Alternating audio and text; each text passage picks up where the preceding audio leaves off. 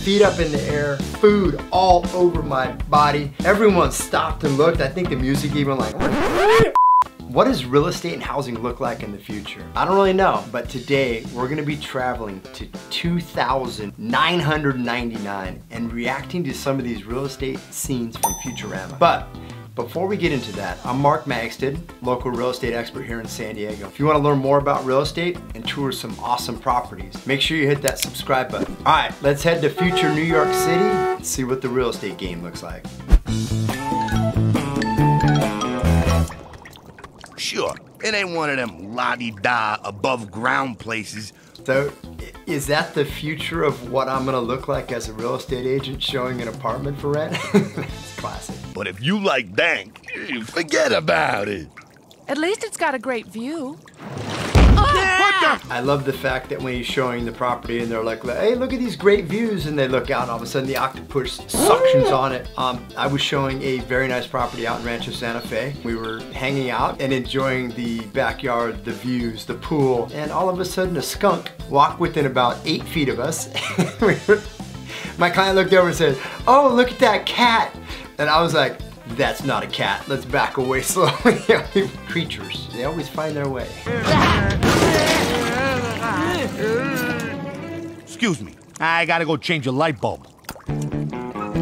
You look at the, the scenario when they walk in this room, you see a bunch of cracks in the ceiling area and on the walls. When we're out showing and selling properties and you see cracks, especially around the windows, if a door's not shutting properly, that's your foundation. That's potential not good and that, that could lead to a, a having to completely redo your foundation, completely re-pour the foundation.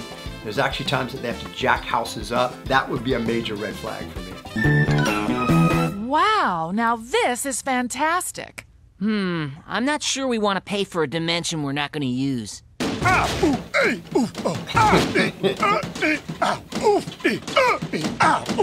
One of the first times we had Broker Caravan where they open it up for realtors. It's kind of like a realtor open house.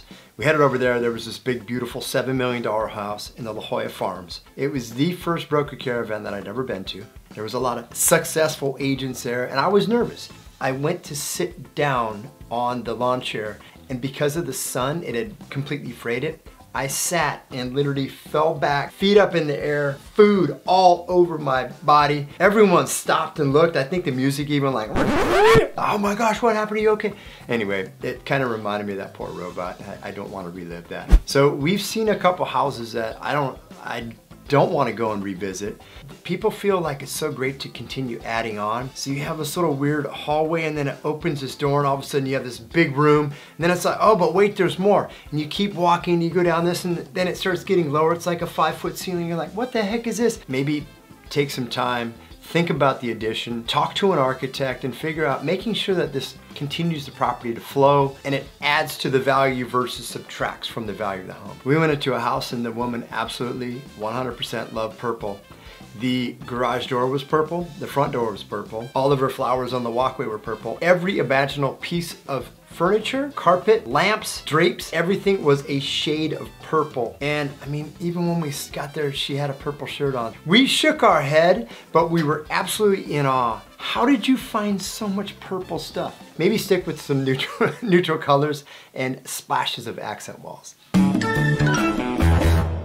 Well, I give up. What's the catch? Oh, no catch. Although we are technically in New Jersey. Not one place even remotely livable. Suspiciously fantastic apartment. Anytime a realtor, a car salesman, an insurance salesman, there's no catch. There's always got to be a catch. But what, what's wrong with New Jersey? Come on, I got some great friends from there. So what's interesting is, you know, you, you think robots, you think of AI. We actually have a friend of ours that has a little mini robot that's part of their household that you can program and it's supposed to do things. They've told me that it really doesn't do anything. They just said it's suspiciously weird, but I'm assuming at one point kind of like how we have Siri now, we have all this. There are gonna be ways that there will be someone that will be able to help you that will be of a robot type. I don't know. What do you think? Tell me in the comments below. Sad, sad, terrible, gruesome news about my colleague, Dr. Mobutu. Was his apartment rent controlled?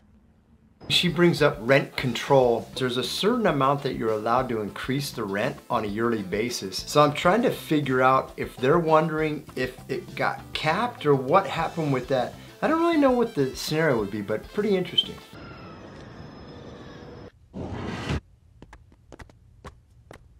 Wow, this is beautiful. What's with all the crap? It's not crap. Dr. Mobutu collected this crap while he was exploring the what-you-call-it universe. I love how they call that junk. We tend to call that clutter. And yes, when you're showing a property, you're better off decluttering. Well, this place has everything except the only thing I care about a TV. It's got a TV, you young what-you-call-it idiot. Ooh.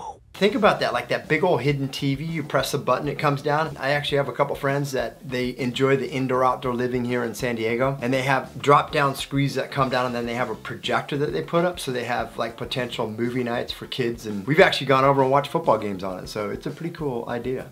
Whoa, slow down. This place just doesn't feel like home. It just isn't cozy. Ah. I can barely move. It's perfect!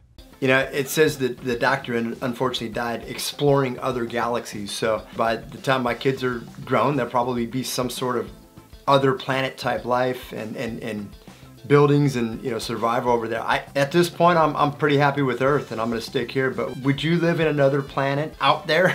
Let me know in the comments below. So overall, the, the future of real estate, it, it seems like it's gonna be very vertical. The last house where they came in and the doors open up, the high ceiling, that may be the future of real estate. So I still love the fact that we have acreage, we have lands, we have pools, we have views, we have this, we have that. So I'm, I'm looking forward to seeing what, what the future brings though. Those real estate scenes were pretty interesting. What do you think? And if you enjoyed this video, make sure you binge watch the entire playlist. I know you're really gonna like it, and please smack that like button when you do. That way you'll get notified of other videos as they hit.